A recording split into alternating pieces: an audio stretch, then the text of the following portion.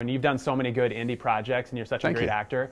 And um, I think one of the things is you, you made decisions to pick certain roles and not take other roles. But now looking back, you've said that maybe you would have done things a little, little different because you've had some amazing opportunities. Is there one role that you would like to, if you could go back in time, to, to accept that role? Uh, no, I mean, uh, I think I know what you're referring to, but I don't. It's not. You know, there's a there's a knock-on effect from everything you do, and I've had the most. Uh, uh, I've I've been able to work with the most amazing people over the course of my career, and I wouldn't change any of it. Uh, but I I I am a different person now than I was when I was younger, and and the, the business has changed so dramatically. It's very difficult now to make a living in independent film fully. Uh, we shot this film, uh, Inherit the Viper, for.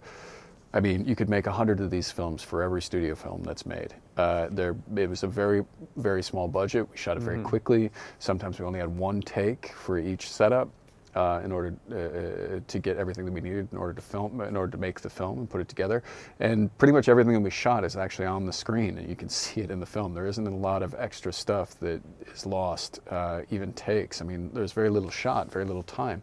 So sometimes, and I love that challenge, but sometimes you know, when I started my started making independent film, there was more money in independent film. There was the ability to take, you know, a few weeks, a couple of months even, to make these films. Uh, and nowadays it becomes more and more a labor of love. So I, it, it's unfortunate, but it's getting harder and harder to make them. Um, but I will continue to try. You know, I mean, that's that's in my opinion part of the part of the fun of our industry is it's still sometimes like the Wild West. You can still push things through that shouldn't have any business being seen by the public.